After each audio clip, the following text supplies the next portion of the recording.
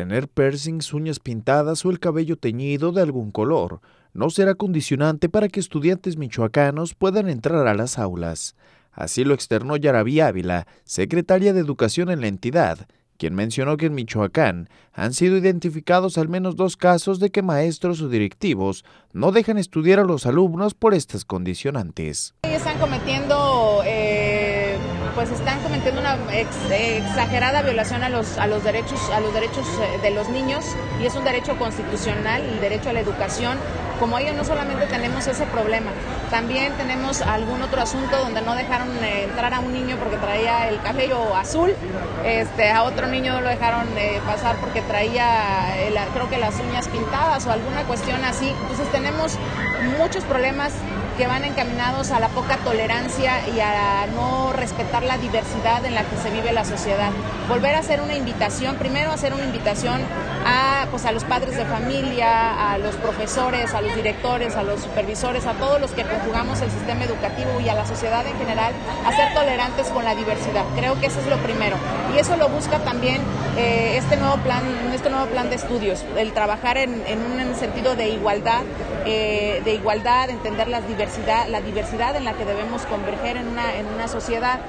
y la segunda es que nada puede condicionar el ingreso a, los niños a clase, nada. Es ni un piercing, ni un arete, ni el cabello azul, ni nada. Solamente, pues lógicamente en cuestiones de higiene, ahí sí hay que ser muy, muy cuidadosos los padres de familia porque pues estamos todavía, debemos seguir con los cuidados que nos ha marcado la Secretaría de, de Salud a nivel federal. En cuanto al tema de las cuotas escolares, la secretaria refirió que debe existir una comunicación plena entre padres de familia y directivos, pues estos últimos deben contar con la empatía y analizar las circunstancias económicas de cada familia para no dejar sin educación a los jóvenes entrecomillado las cuotas voluntarias, sabemos que hay una responsabilidad compartida para, pues, para muchos mejoramientos en la escuela. Solamente hemos estado insistiendo en que haya esa sensibilidad de los problemas económicos, el abandono escolar principal que se ha dado es pues por fallecimiento de los padres de los niños y los problemas económicos eh, que aquejan a toda la sociedad.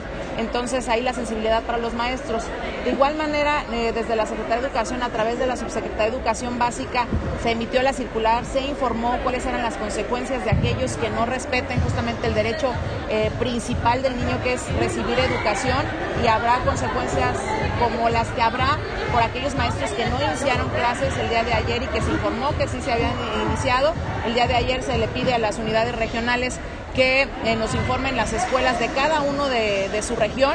y eh, con respecto a que a ese listado nosotros eh, descontaremos los días de los maestros que no se presentaron a clases el día de ayer por la razón que haya sido, ¿no? Ya después tendrán que aclarar. Por último, la secretaria hizo un llamado a padres de familia, maestros o directivos a denunciar cualquier tipo de anomalía al interior de su escuela, pues recalcó que la dependencia se encontraba capacitada para buscar soluciones en cualquier ámbito.